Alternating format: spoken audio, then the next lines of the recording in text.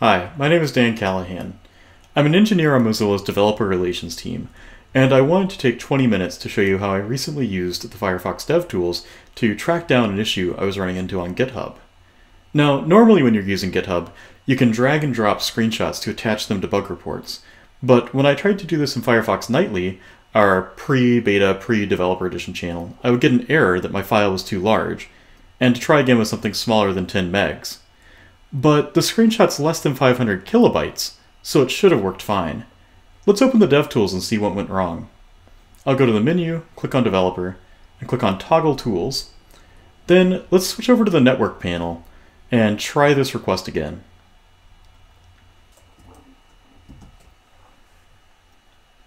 And there we go.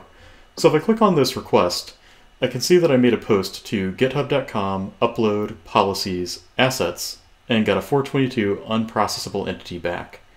If I look at the response body, it's a JSON array with five errors. Name has a file extension that doesn't match the content type, name is a missing field, content type isn't included, content type is a missing field. So it's clear that whatever we sent wasn't processable. It wasn't necessarily the size. So if we click on the parameters tab, we can see what we sent to GitHub.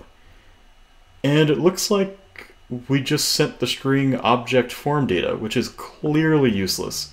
Now, if this was almost correct, we could switch over to the headers tab, click edit and resend, and in here we can modify headers, we can modify the request body, um, we can kind of do whatever we want and easily resend the, a request that was only slightly wrong or if we need to test an API. Now, obviously in this case, we don't know what this should have looked like, and if we try to resend object form data, we just get another 422 with all the same errors. But usually resending things can be useful. Still, let's look at this payload. I have a theory as to what went wrong. If GitHub was creating a form data object, let's say x equals new form data, and then setting keys on it, so let's append foo and set it to bar, and we can get that data back out, so if we exec get foo, we get bar. So if GitHub took this form data object and coerced it to a string instead of properly serializing it, we get exactly the same string that we posted. So let's see if that's actually what's happening. I'll go ahead and clear out the console and close it. And we'll switch over to the debugger tab. Now you can see I've got three minified files, so I'll come over here and turn on auto prettify minified sources. And now when I click on one of those files, it'll take just a second, but the file will get retabbed, reindented into something that's a little bit easier to debug. Um, Unfortunately, this file alone is nearly 15,000 lines. Let's see, it's uh, da, da, da, exactly 14,973. So figuring out where to start here is going to be hard. But what we can do is we can open up the sidebar, and we knew that this triggered on a drop event. So when we click on the events panel, we can see all of the events that have handlers. We can toggle a breakpoint on drop. And we can also scroll here and see whatever else is, is bound.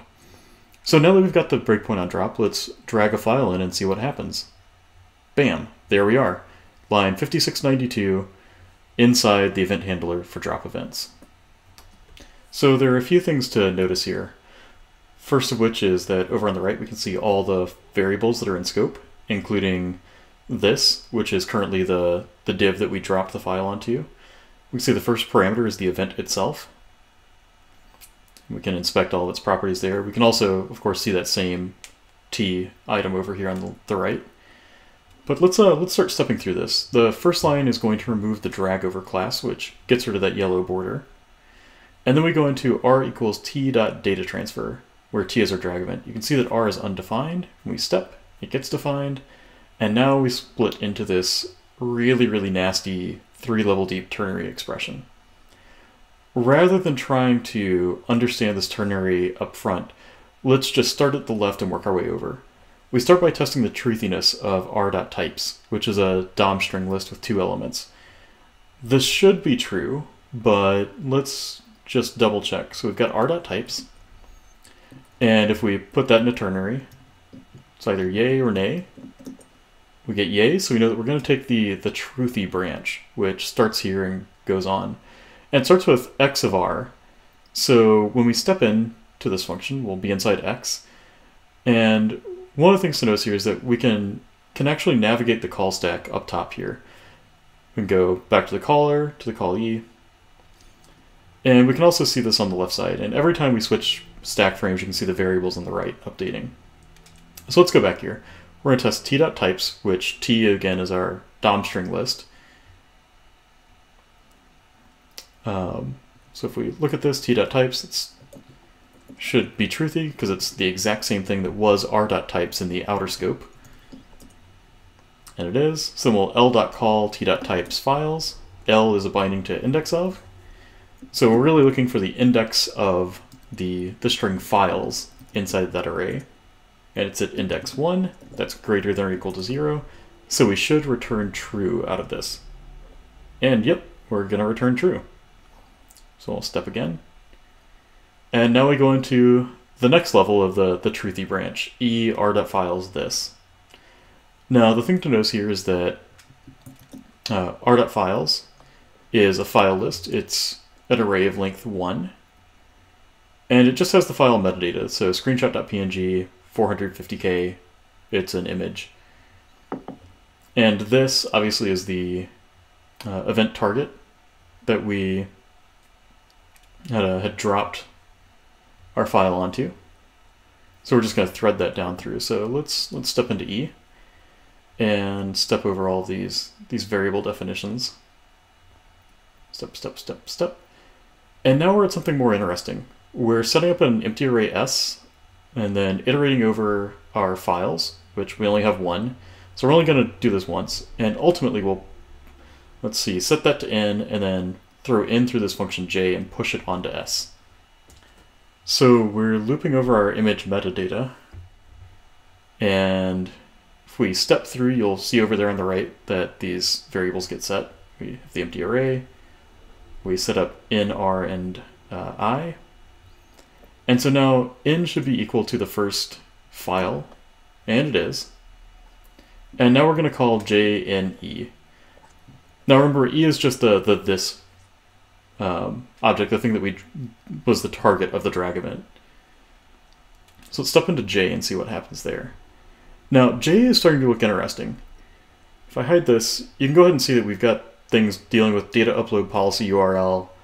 Um, what else is going on here? So we, we start with defining this function i up at the top. And i does a bunch of stuff related to uploading.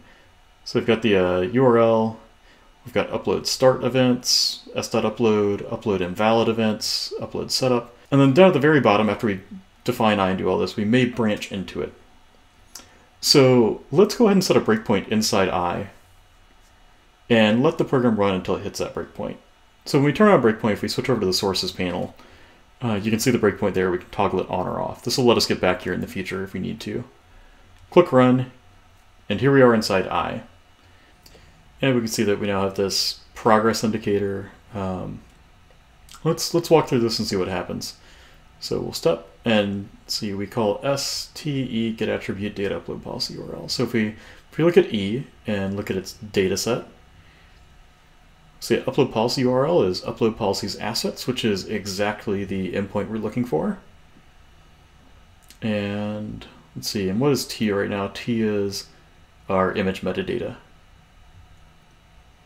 So let's step into S and uh, just step over all these variable declarations. And now this looks good. This is setting up a form data object and it looks like we're appending name, size, content type, do, do, do, do. And we end up in this uh, fetch JSON function. So let's take a second and look at this this form data object to make sure that all the all the metadata is actually there. So if we say in and in.get name or size, let's say name, content type. So it looks like everything's there. Uh, and what's fetch.json going to do with it? Fetch.json takes an argument e, which is that URL or path, and it passes in a, an object with method post body in, where in is that, that metadata, that form data. So inside fetch.json, we've got a really, really small function body, and it again takes in the, the path, and that uh, that JavaScript object that has method post on it in our form data as the body. And so so that's just mapping directly onto to these two lines here. And see, we set headers. Uh, oh wait, no, first we, huh, T of E of O. So we step into E. All we're doing is basically adding the uh, credentials equals same origin onto our, our object. And there it is. And so we'll step out. And now the, the T function basically does the same thing with CSRF tokens, so we'll just step past that. Now we add the accept header, and now we call fetch in O, then I, then R. So in is our path, O is our JavaScript object, and see the, the body is the form data. Um, we can see we've got some headers. If we say o dot body dot get name, yep, the metadata is all still there, so this this should work. And what this effectively is doing is it's it's calling fetch, passing it that path. So it's saying fetch upload policies assets, and it's gonna use O, which says you know method post body blah blah blah. So let's uh, let's see what actually happens. Here's our old post. We'll clear that out. We'll send this. And we got a 422 and set the same payload, object form data. But we knew the form data was good, right? And same old errors.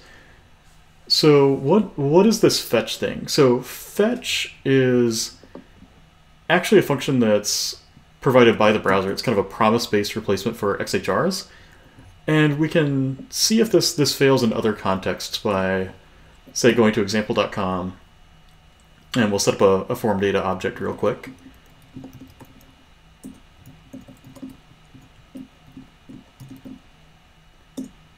So there we go, add some data to it. And if I try fetching just the, the root of this domain, uh, we'll use post and we'll set the body to that form data object we just created. And there it is. Obviously, this succeeds because there's no backend processing. But we can see that, that our body was still just object form data. So, so this is clearly something wrong with the implementation of fetch in Firefox. And I recall reading a, an article on Mozilla Hacks, which is kind of our emerging tech blog about the fetch API. So let's go let's go check that real quick.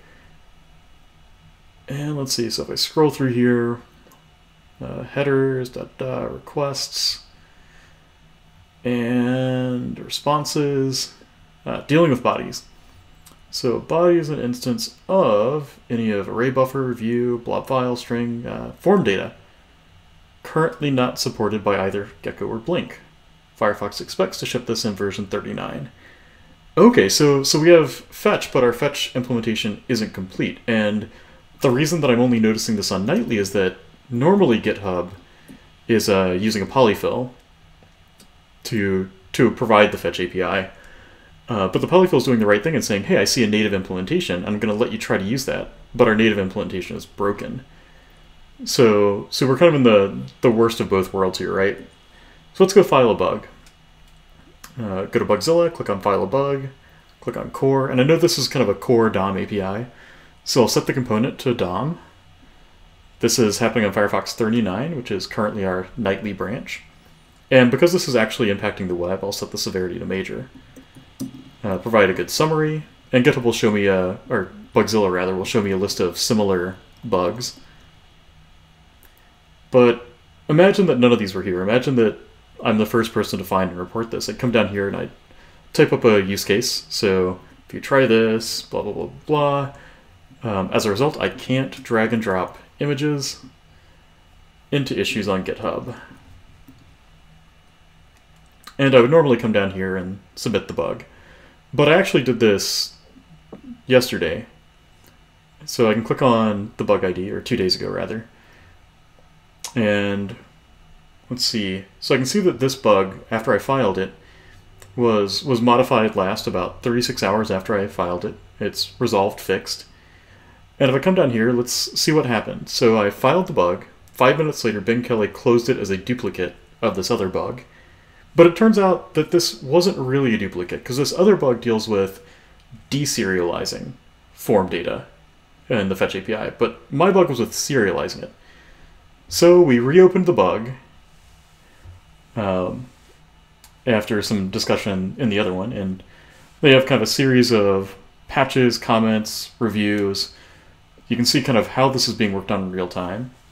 And it ends with being resolved as fixed and a comment pointing to the actual commit in our Mercurial repo. So I can click on that. We can go over here and we can see the implementation of serializing form data with the Fetch API.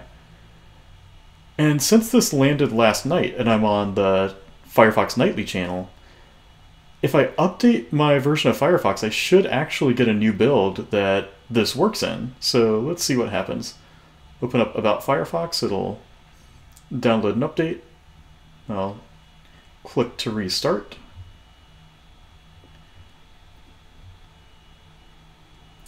Now, one thing to note is that by default, Nightly is using a process separation called electrolysis. That's why my tabs are underlined. And drag and drop doesn't work there at all. So we'll open up a non-electrolysis window. And we'll go to GitHub. And let's try opening a new issue. And let's try dragging this file in here and seeing if it works.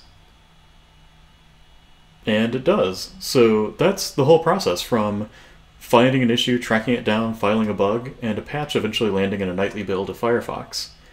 If you're interested in the cutting edge web platform features that we're working on, but without the instability of Nightly, I'd encourage you to check out Firefox Developer Edition, which is kind of our post nightly pre beta channel. And you can see what's happening on the web platform by following our blog at hacks.mozilla.org.